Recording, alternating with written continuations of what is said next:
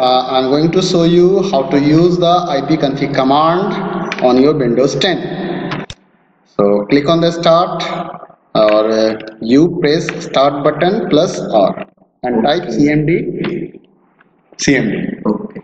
Now here you have to type the command. This is called ipconfig slash all. Press the enter key. That will show the complete entire list of the IP configuration. You have to scroll some upside so that you can able to find out the details of this. So this is the host name and here you will get the name of the computer. This is my computer name, Amrit computer. Further, I am going to tell you about the MAC address or Ethernet adapter. Look at this here. This is the adapter settings. I talked you about yesterday. All computer, all motherboard has their own NIC card, network interface card. This is called Ethernet adapter also.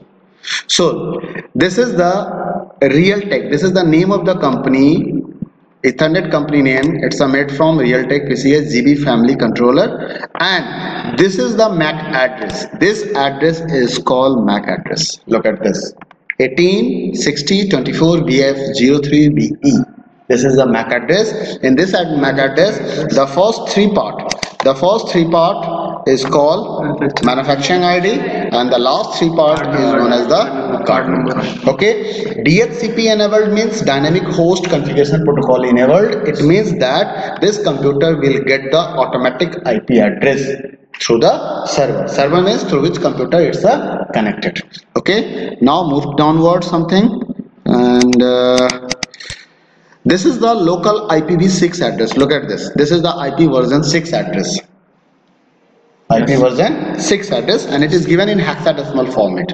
Now this is the IPv4 address which I want to show you. IPv4 address what is given? 192.168.56.1 it's written here. Look at this. This is the IP address. Preferred. Preferred. Preferred means if this computer frequently connected with the same server this computer is frequently connected with the same server. So this ip address is preferred for this computer. So most of time this computer getting the same ip address. Actually it is dhcp dynamic host configuration protocol. It means that it will get the always a new ip address from the server.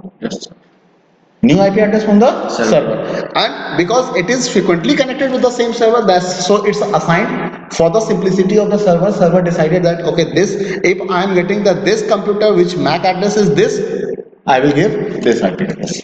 That is this. Okay. Rather on this is the IPv subnet mask everywhere if you use the IP address you have to give the subnet mask. subnet mask helps the systems to find out the accurate IP address and categorize the category of the IP address Yes. okay